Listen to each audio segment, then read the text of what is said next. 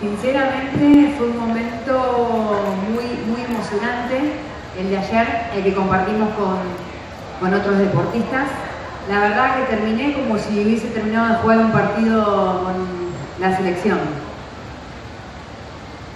It, sincerely, it was truly moving and exciting. I had